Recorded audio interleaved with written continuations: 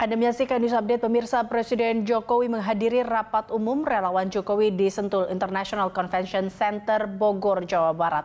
Kita bergabung bersama rekan Friendly Sagala dan juru kamera Kesa Panaji dari Sentul International Convention Center Bogor, Jawa Barat.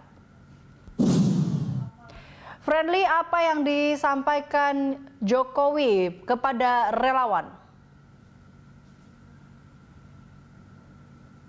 Ya, acara relawan rapat umum relawan Jokowi yang dilaksanakan di International Convention Center Jawa, Bogor Jawa Barat ini sudah selesai dilaksanakan dan tadi Presiden Joko Widodo mengarahkan ataupun melakukan memberikan arahan kepada seluruh relawan Jokowi untuk memelihara aset bangsa yaitu aset bangsa persatuan dan juga persaudaraan. Presiden meminta agar relawan Jokowi ini menyadari bahwa Indonesia terdiri dari berbagai ras dan juga kebudayaan serta agama. Untuk itu jangan karena adanya Pileg dan juga Pilpres 2019 nilai-nilai persaudaraan dan juga nilai-nilai demokrasi ini di uh, dibiarkan begitu ataupun diabaikan. Kemudian tadi Presiden Joko Widodo juga mengatakan dan juga meminta kepada seluruh relawan Jokowi ini dapat bekerja keras dengan baik.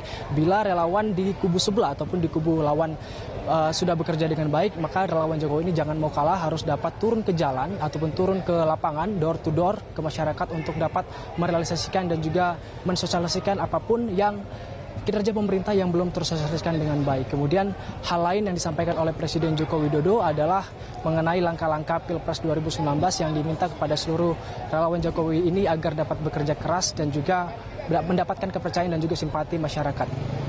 Eliza. Baik Friendly, terima kasih atas informasi Anda. Mirsa Friendly Sagala dan juru kamera Kesa Panaji melaporkan langsung dari Sentul International Convention Center Bogor, Jawa Barat.